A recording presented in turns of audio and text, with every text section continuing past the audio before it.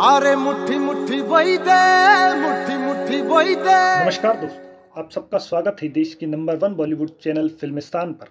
आज हम बात करने वाले हैं सुपरस्टार सिंगर केके के बारे में। सुपरस्टार केके का निधन 31 मई को हार्ट अटैक की वजह से हुआ था। अब सुपरस्टार केके का आखिरी गाना जो उन्होंने रिकॉर्ड करवाया था, वो यूट्यूब पर रिलीज़ कर दिया गया है। केके ने अपना आखिरी गाना, धूप पानी बहने दे फ़िल्म शेरदिल के लिए गाया था। यूट्यूब पर गाने को भरपूर प्यार मिल रहा है। गाने को पिछले 12 घंटों में करीब तीन लाख व्यूज़ मिले हैं। इस गाने पर हज़ारों कमेंट्स आ रहे हैं। इस गाने को गुलजार साहब ने लिखा है, कंपोज शांतनु ने किया है। फ़िल्म शेरदिल की स्टार कास्ट में पंकज त्रिपाठी, सयानी गुप्ता व नीरज का भी है। पंकज त्रिपाठी ने इस गाने का एक क्लिप इंस्टाग्राम पर शेयर करते हुए लिखा है के के की जादुई आवाज़ एक बार फिर आपको मंत्र मुग्ध करने को तैयार है। बात करें फ़िल्म शेरदिल की, Pankaj starrer film Sherdil the Pilibhit saga की कहानी जंगल के किनारे बसे हुए एक छोटे से गाँव की है। अभिनेता की यह फ़िल्म 24 जून को रिलीज़ होगी। बॉलीवुड की इसी तरह की ताज़ा तरीन खबरों के लिए चैनल को सब्सक्राइब कीजिए, वीडियो को लाइक कीजिए। थैंक यू, जय हिंद।